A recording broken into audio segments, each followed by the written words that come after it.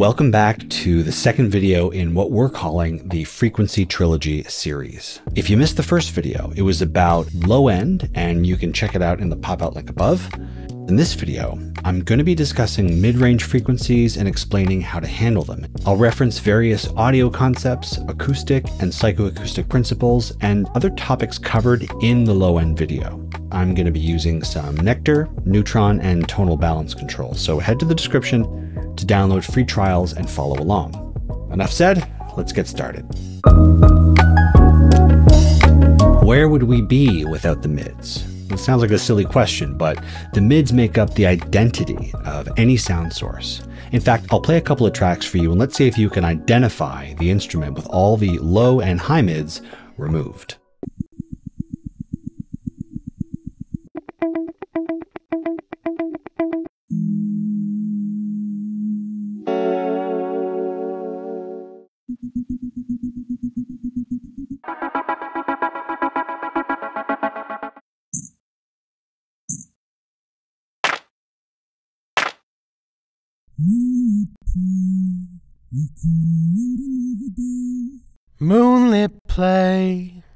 Couldn't wait another day.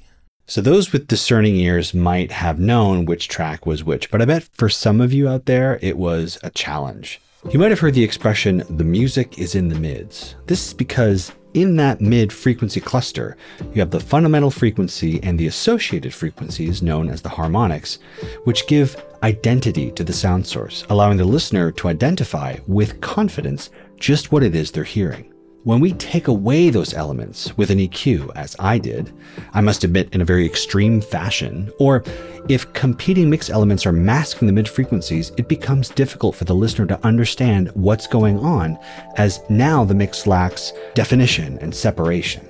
So if it isn't obvious, in this video, I'm really going to try to get you to care about mid frequencies as much as I know you care about lows and highs. So let me lay out my case with some basic facts.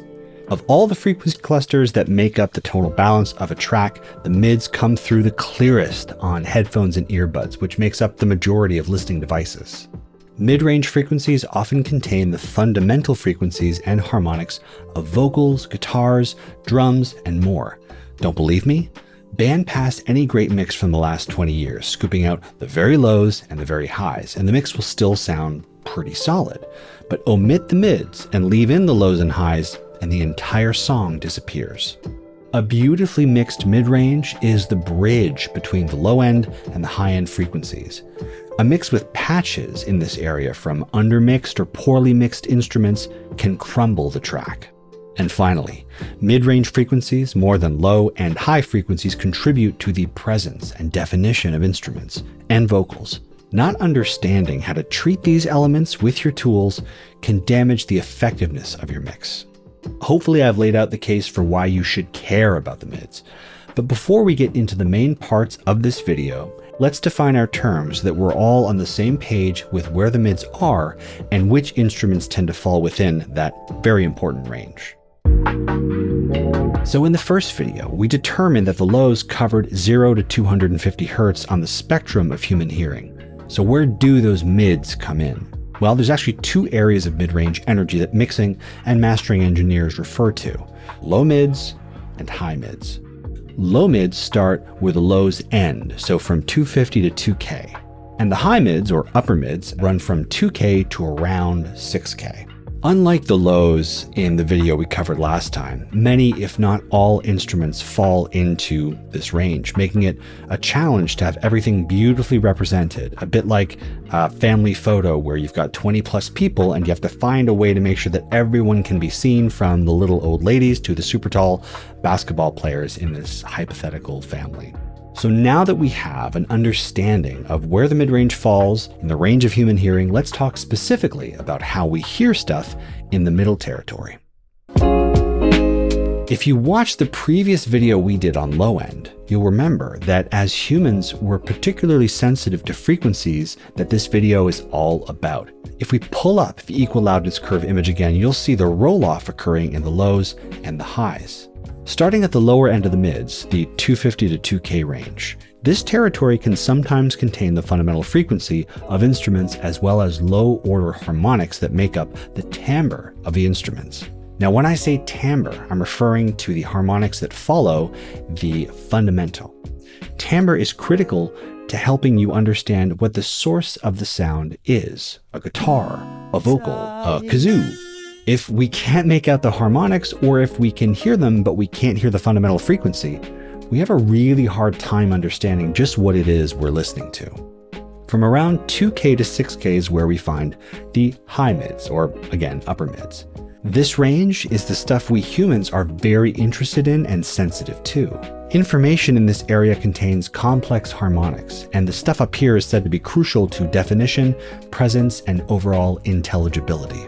So if we go back to our what's louder example from the previous video, remember we had that 50 hertz tone, and the 2.5 kilohertz tone. The 2.5 kilohertz tone is definitely something that we perceive as louder. Therefore, it gets a higher. Remember, we deal in negative numbers in audio. Loudness unit's full scale value, even though it played back at minus 10 RMS, the same loudness as the 50 hertz tone. The reason that we're so sensitive to this range is because our auditory system is highly attuned to perceiving sounds within it. This sensitivity is partly due to the resonant properties of the ear canal and the ear's middle ear system. You might notice that really important sounds in your world fall within this range. For example, the wail of an ambulance siren, or the cry of a baby, or the bark of a golden retriever puppy. Do you want to bark? So mid-range matters, but how does it make a difference in my mix? Will I have to turn down everything in that 250 to 6K range? Well, it should come as no surprise that prolonged exposure to high levels of mid-range frequencies can cause listening fatigue and even discomfort in some people. This is especially true if frequencies are excessively boosted or even if the mix lacks proper balance across the entire frequency spectrum. After all, mid-range frequencies play a crucial role in the intelligibility and clarity of speech, as well as in the richness and presence of musical instruments. So if you turn that stuff down, you risk reducing definition and clarity. The other risk to turning mid-range frequencies down too low is that you negatively affect the listener's ability to localize mid-range sources. When sounds contain significant mid-range information, our ears can more accurately pinpoint their source. Okay, that was a lot. So let's summarize before we move to the next section. Humans are sensitive to mid-range frequencies, which are crucial for understanding the source and timbre of sounds. Mid-range encompasses the lower 250 to 2K and upper 2K to 6K regions, impacting definition, presence, and intelligibility. Excessive mid-range exposure can lead to listening fatigue, so this is why a balanced mix is important. Mid-range frequencies contribute to speech clarity, instrument richness, and sound localization. So reducing mid-range excessively can hinder definition and localization. So now that we understand a little more about how we hear mid-range, let's pivot to the role your room and speakers play in affecting the way you hear it. Now, when thinking about investing in monitors for solid mid-range representation, you might remember that in the last video we did on low end, I said those Auratone cubes or Yamaha NS10s would be insufficient for your low end needs. But you know what they're totally sufficient for? Mid-range power. I'm not saying go out and buy some cubes or NS10s, but if you have a little extra cash, they're a pretty great option if you're interested in really zeroing in on the range we're discussing today, or at least they're great for offering a second opinion on the mids if you're lucky enough to own two sets of monitors, one pair that faithfully represents the full range and another that spotlights the mids, like the Cubes or NS10s. You'll probably have an easier time getting your hands on some Cubes, which are still in production, unlike the NS10s, whose materials eventually became unavailable, leading Yamaha to discontinue them a little over 20 years ago. A quick word though about those eager to take the plunge for some NS10s or cubes. Both loudspeakers I mentioned are passive, meaning they don't have an amplifier built into their design, which is going to power them. I should note that there exists an active version of the cubes, but let's say you want to be the cork sniffer and get that passive version. You'll need an extra amplifier if you want to get sound out of them. Now, I cannot overstate the importance of pairing the right amplifier to the NS10s or to the cubes. And this is because the overall sound of the loudspeaker is really influenced by that external amplifier. The interaction between an amp and a loudspeaker is a cohesive system where the amplifier plays a crucial role in shaping various aspects of the sound, like transient response, the low end frequency reproduction, and even distortion. So do a little research in the forums, look for recommendations on amp and loudspeaker pairings to make sure that you're getting the perfect match. If you're looking for a good single set of loudspeakers that represent the mid range, you might be wondering should I go for a two way or three way loudspeaker design? Loudspeakers use multiple drivers to ensure that each driver handles specific frequencies that it specializes in reproducing. A crossover is used to split the incoming signal into different frequency bands, typically around 2K for a two way loudspeaker. Due to the limitations of crossovers, there's always some overlapping bandwidth where identical frequencies are sent to both drivers, introducing certain phase issues that can affect the sound quality. Can a two way speaker accurately represent the mid range, or do I have to buy a three way system with a dedicated cone, sometimes called a squeaker or mid woofer to keep with the animal theme? Olive? So I'm here to tell you that two-way studio monitors are totally capable of faithfully reproducing the audible spectrum, especially the mids, so you don't need to break the bank on a three-way system necessarily. If you do want to go for a three-way design, just know they require really careful, smart design and integration to really optimize the performance of each driver and maintain really great and accurate phase coherence. I'm saying this because a studio quality two-way design will often perform better than a commercial or bookshelf three way design. If you intend to level up to a studio quality three way design, they'll most certainly come at a higher cost compared to the two way studio systems. All right, that was a lot, so let's summarize again before we move on. Auratone cubes and Yamaha NS10s are suitable for mid range representation and can even be used as secondary monitors. While pairing an amplifier to a passive speaker, the choice of amp significantly affects the overall sound characteristics. Two-way monitors can competently reproduce the mid-range, obviating the need for a three-way system for those on more of a budget. Three-way systems minimize distortion and ensure distinct mix elements. Now, just as we mentioned in the earlier video, great monitors are useless without great room treatment. When sound leaves the loudspeakers, it interacts with the room, creating room modes and standing waves. To treat those two problems, you need materials that absorb and diffuse sound reflections. As you'll remember from the last video, direct sound is accompanied by these reflections that bounce off nearby surfaces resulting in a blending effect. These reflections, traveling a longer distance, arrive at a specific phase relationship to the direct sound. The shorter wavelengths of mid and high frequencies make them more susceptible to issues caused by these reflections. Now, within the initial 40 milliseconds, early reflections occur and give rise to comb filtering, which is characterized by boosts and or cancellations across the perceived frequency response. Additionally, the delayed arrival of direct sound and its reflections can lead to a kind of smearing of the stereo image. Common sources of reflections include uh, your desk, sidewalls, and even the ceiling. You've probably actually already felt the power of these reflections in your own space or somewhere like in a movie theater. When the sound is cranked and it's bouncing off the walls and into your ears, these reflections almost make you feel like you're soaked in noise, which is why we love to turn things up nice and loud, creating the feeling of being at a concert or a live event where the sound is washing over you. It's for this reason that mix engineers often recommend checking the mix at quiet levels to reduce the influence of the room entirely and allow as direct a representation of the audio as possible. When you listen at quiet levels, you don't allow the standing waves, room modes, any kind of comb filtering to play a role in shaping the tone of the music. For those who like to listen loud, and that's me, use absorbers designed to suppress sound reflections' impact. Since the mids are often problematic, the absorbers don't need to be too deep. Usually around 50 millimeters of acoustic foam is all you need. For those interested in using headphones to dial in their mid-range, it's important to avoid consumer headphones as they tend to alter the sound, changing the audio which leads to poor decision making during the mixing and mastering phase. Opting instead for studio quality wired headphones is ideal as they provide a more neutral mid-range sound. And I say wired because, at the time of this video anyway, Bluetooth does not natively support lossless audio transmission, meaning Bluetooth is going to discard some important audio information for the sake of transmitting sound more efficiently.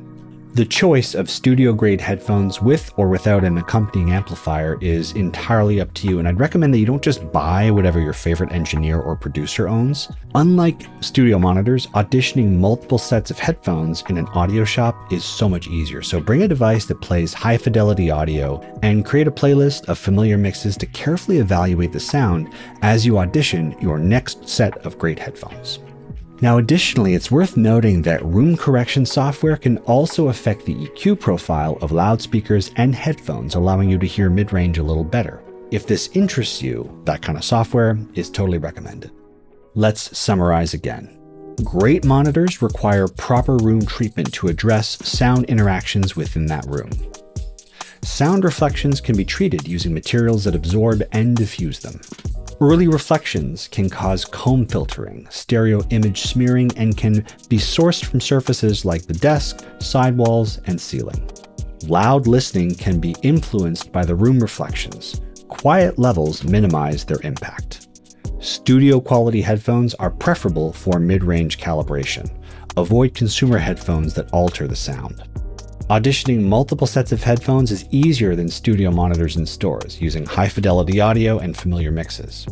And finally, room correction software can impact loudspeakers and headphones, providing a balanced sonic output. So give it a shot. So now that we've covered how our ears perceive the mids and how they're reproduced from the monitors and then translated into a room, let's get a grip on how to control them in the digital environment. While there are many ways to manipulate the mids to suit your sonic goals, such as compression, distortion, and more, perhaps the best tool for the most direct control is an equalizer. An equalizer is a tool that we use to manipulate the frequency components of different mix elements. The key to deploying EQ effectively is to understand each instrument's frequency characteristics, especially the mids, and how it fits into the overall mix composition. As a reminder, the low mids encompass roughly 250 to 2K and fundamental harmonics of diverse instruments and a big part of their timbre. The high mids or upper mids, 2K to 6K, we think of this range as linked to loudness, definition, presence, and speech intelligibility. It's important to note that when you're using EQ, it's good to have a sense of just why it is you're making moves in the first place. Do you want to make the track sound big, small, edgy, round, clear, muddy? Do you want to take energy from something and give it to something else? Are you trying to impart a vibe or a feeling with EQ? Whatever your sonic goals, getting there requires boosting and or cutting with an EQ, and I'd argue that it's cutting, not boosting, that will offer you the best results, making something sound better than it did before. So what do I mean by sound better? Engineers like to listen for problematic frequencies and carve those away to make the track sound more like itself, more defined, or more clear. Now, the moves I'll soon suggest won't be applicable to literally everyone's mix. My goal is just to give you ideas for how to manipulate the mids with an EQ and get you thinking about the role this frequency range plays in affecting your mixing work. Now, the name of the game is going to be gentle reduction and suppression of the mids. And when I say gentle, uh, I mean it. Remember, music is in the mids. Too much scooping in this region leaves the tracks and overall mix feeling brittle and can ruin their definition and presence. Let's showcase a few common instruments and talk about how to control and hear their mid range content. A common attribute of acoustic guitars is that there's a lot of boomy low end buildup, especially in the low mids. In commercial mixes, the soul of the guitar, made up of those same mids I just mentioned, is often rolled off considerably so that the guitar plays more of a rhythmic, textured role. However, in intimate ballads, where it's just a guitar and vocals, the low mids are still sheared, though not as drastically, and this is to allow the singer to own that territory. Whatever the case may be, let me show you that by using a parametric EQ, I can choose a node in the low mid region contributing to that boominess and muddiness to bring more attention to the very low end of the body and to bring attention to the upper mids too, thus refining the guitar and bringing clarity and definition to it through middle management.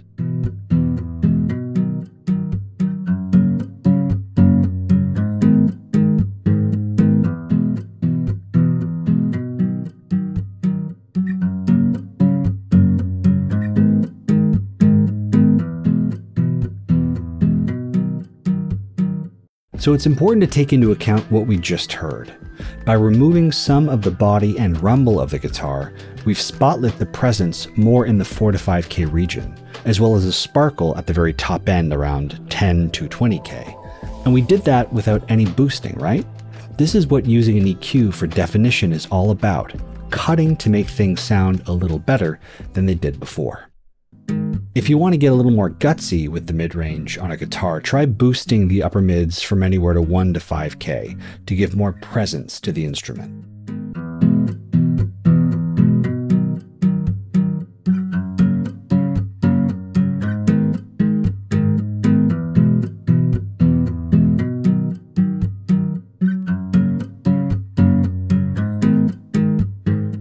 And I should mention, it's really important to check your work not just in solo, but also in the context of the entire mix, and keep an ear out for whether the moves are hurting or helping the overall mix. In the mixing world, vocals are famous for being challenging to cut and sculpt into something that sounds better. And upper and lower mid energy is equally as notorious to control, but you'll need to get a grip on it sooner or later, so let's discuss.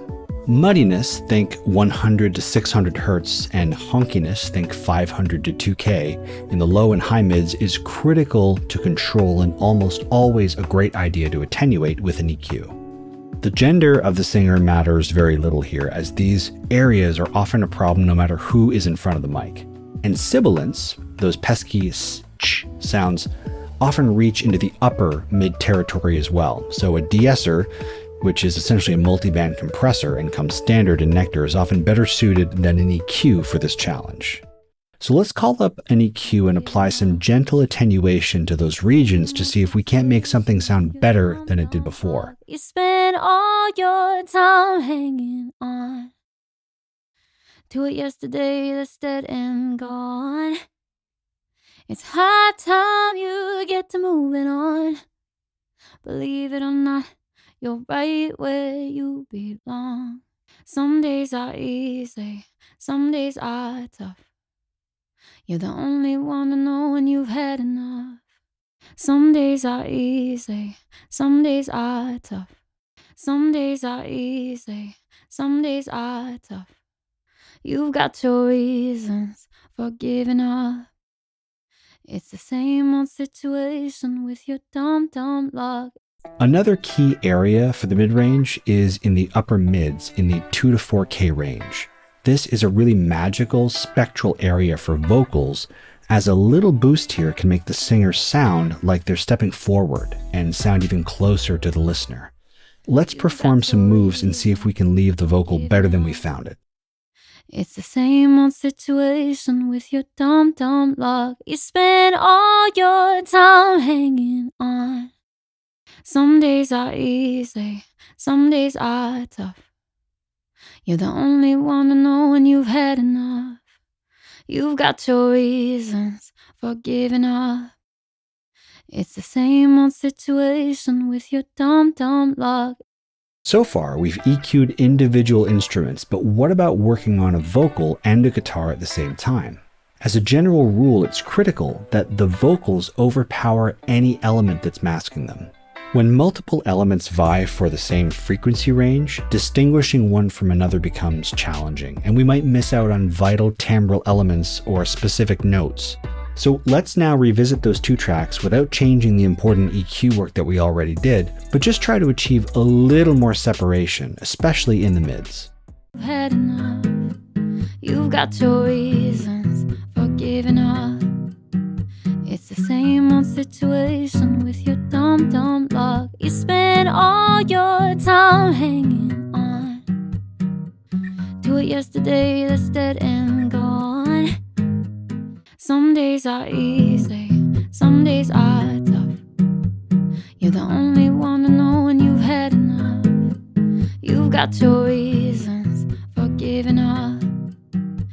It's the same old situation with your dumb, dumb luck. You spend all your time hanging on to it yesterday that's dead and gone.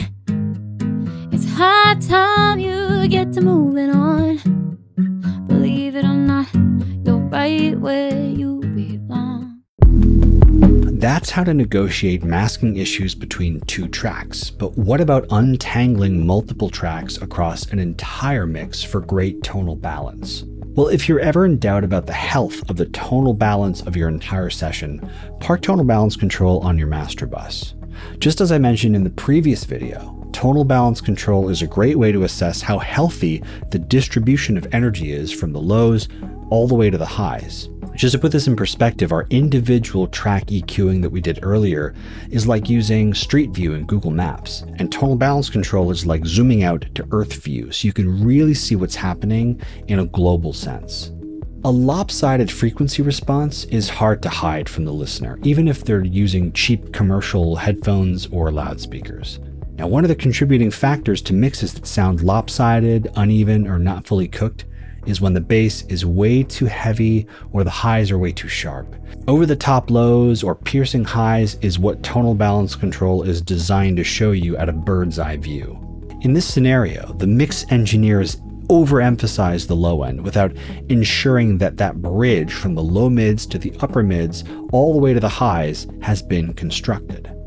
In mixing, we can help to construct this bridge by listening to the mix and taking a look at tonal balance control, and then using tools just like EQ to extend or curtail mix elements that are overlapping in areas that they shouldn't be, or by drawing out additional spectral material, a kind of creative connective tissue between instruments from the lows to the highs. Now, knowing just where the gaps in the pathway are on this connective bridge will take some experience and practice, but calling up the fine view will give you some clues in tonal balance control. Look for areas where there are significant dips or valleys, if you will, where energy is lacking or missing altogether. And know that this missing energy could be due to masking issues more than instruments that don't present well natively in that particular region consider using an EQ to draw out that energy. Now, unfortunately, you can't add what's not already there with an EQ, so if that's the case, try to use harmonic enhancers like saturation or distortion to create new spectral information if need be. Ideally, the lows should be under control through careful EQ management and unmasking. The bridge from the lows to the highs, using all the stuff in the mids, should help to bind the instruments together into something cohesive and balanced. So your mix looks less like this, or this, and more like this. And the key to getting this mix, in my view, is ultimately solid control of that mid range. Finally, if the mids are hidden or present as holes along that bridge, Sometimes bringing them up and down at the individual track level isn't always the answer. Sometimes to uncover them, you simply have to lower the low end. The same subtractive EQ principle we employed on individual tracks applies here on the larger mix. By removing, we can reveal and make something sound better. A careful reduction of low end can help the mids perk up and be heard, which can influence the overall tonal balance for the better. Let's summarize one more time. An equalizer is a powerful tool for manipulating mid-range frequencies in the digital environment. Understanding each instrument's EQ characteristics, especially in the mids, is crucial for effective EQ deployment. The low mids, 250 to 2K, consist of fundamental harmonics shaping the essence and tonal character of instruments. The high mids, 2K to 6K, are sensitive frequencies associated with loudness, impact, definition, presence, and speech intelligibility.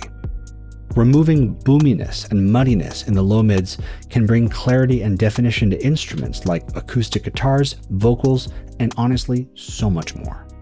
Masking issues can occur when multiple instruments vie for the same frequency range, but you can mitigate this by removing unnecessary frequencies and achieving clear separation. Build the bridge from the lows to the low mids by careful management of the overall mid range.